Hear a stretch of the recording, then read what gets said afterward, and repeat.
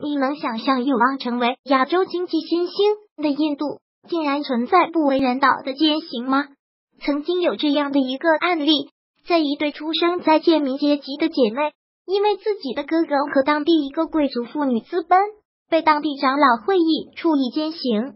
就因为不能和贵族来往，兄长的爱情连累了妹妹，觉得不可思议吗？大家想象一下，如果走在路上，外出上厕所或者坐公交车，居然都要担心自己受到性侵害。据相关的统计数据，印度每二十二分钟就发生一起强奸案。从一九七一年到二零一二年，印度国内强奸案的数量增长了八点七倍。印度首都新德里更是被称为强奸之都。为什么强奸事件在印度会频繁的发生？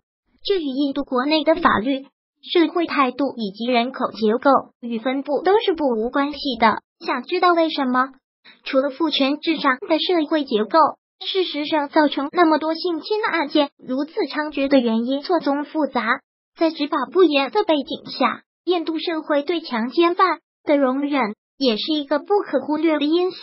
有很多印度人认为，强奸只是个人的耻辱问题，不涉及犯罪。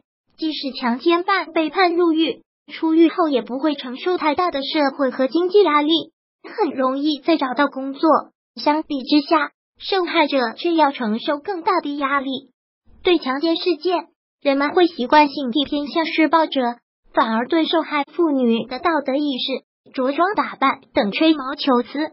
还有一种就是种姓制度，在印度传统的社会思维中根深蒂固的种姓制度。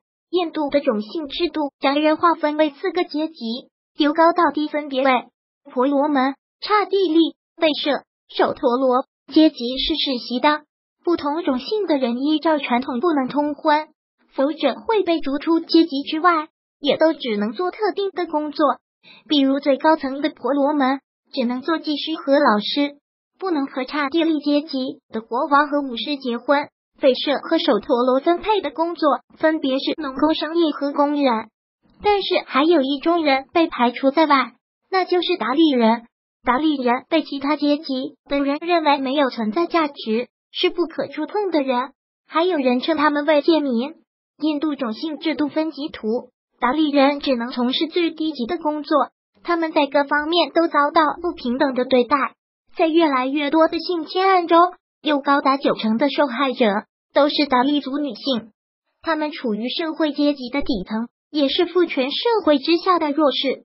这些大大小小的问题成为印度女性的恐惧面纱。大家还有什么可以补充的？欢迎在。如果喜欢本视频，请分享并订阅本频道，别忘了按赞哦。